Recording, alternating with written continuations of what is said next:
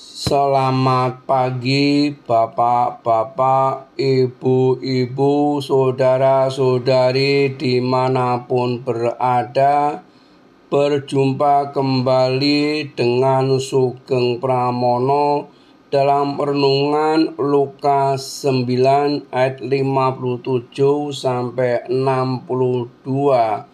Pergilah dan beritakanlah kerajaan Allah Mengikut Tuhan Yesus berarti menjadikan beliau sebagai prioritas utama di dalam hidup. Maka seorang pengikut Kristen yang sejati seharusnya tidak mementingkan hal-hal yang bersifat materi Mengikut Kristus juga bisa berarti melepaskan diri dari ikatan-ikatan yang mengalihkan perhatian dari Kristus. Mengikut Kristus pun harus dilakukan dengan segera tanpa mempertimbangkan banyaknya kepentingan yang ada di dalam dirinya dan harus ditinggalkan. Apakah dengan mengatakan semua itu, Tuhan Yesus sedang memperingatkan orang tentang betapa susahnya mengikutinya? Sebenarnya bukan maksud Tuhan Yesus untuk melemahkan semangat orang yang hendak mengikutinya. Beliau ingin orang benar-benar memahami makna menjadi murid Kristus. Jangan dikira karena ikut Tuhan Yesus maka akan mengalami kelimpahan harta ataupun kesuksesan secara tiba-tiba.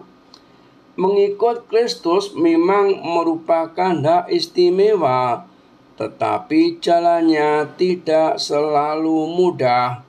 Namun kalau mengingat bahwa hidup dan nyawanya telah diserahkan ganti kita, darahnya telah dicurahkan untuk menebus hingga kita menerima anugerah keselamatan, apakah yang dapat kita persembahkan kepadanya? Sebagai ucapan syukur selain suatu komitmen bahwa akan mengikut beliau dengan segenap hati. Sabda Tuhan hari ini menuntut kita untuk mengambil keputusan yang jelas tentang mengikut Yesus. Beliau yang memanggil kita dan mengutus kita yang mengendaki agar kita pun mengikutinya dalam perjalanan menuju Yerusalem. Tanda petik.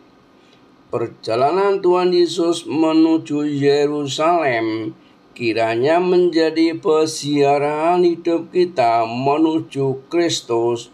Di jalan itu tentu banyak rintangan, Pilihan-pilihan yang mengugah hati membuat larut dalam kenikmatan itu atau mungkin membuat kita jatuh.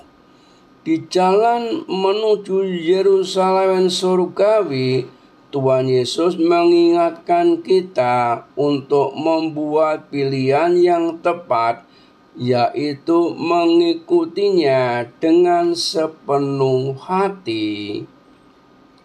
Mengikuti Tuhan Yesus berarti berani bersaksi di tengah-tengah dunia, lingkungan masyarakat, dan keluarga kita. Kita hendaknya berkomitmen untuk melakukan kehendaknya di dalam hidup sambil bersyukur sebagai orang merdeka yang membawa Tuhan Yesus sebagai kebenaran yang memerdekakan semua. Yohanes 8 ayat 32 Salam dan doa Tuhan beserta kita sekarang dan selama-lamanya. Amin.